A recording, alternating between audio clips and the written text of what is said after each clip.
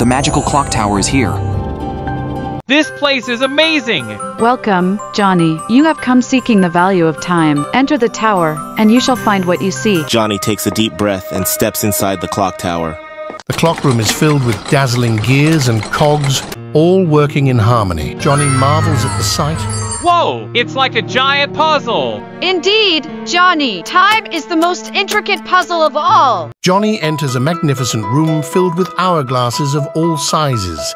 Each one glows with a different color. So many hourglasses. What do they mean? Each hourglass represents a person's life. The color symbolizes their life's essence. Choose one, and you shall discover its story. Johnny walks along the gallery, examining the hourglasses. He stops in front of a beautifully shimmering blue hourglass. This one speaks to me. I choose this. Very well, Johnny. Johnny's hand reaches out towards the blue hourglass.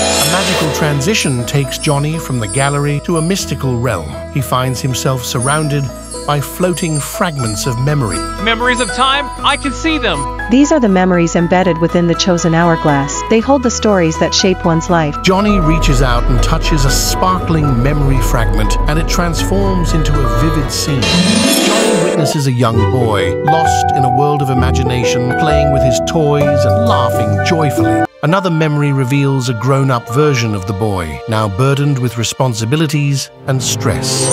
Johnny's face shows a mix of realization and appreciation. Time can change everything. It's a precious gift.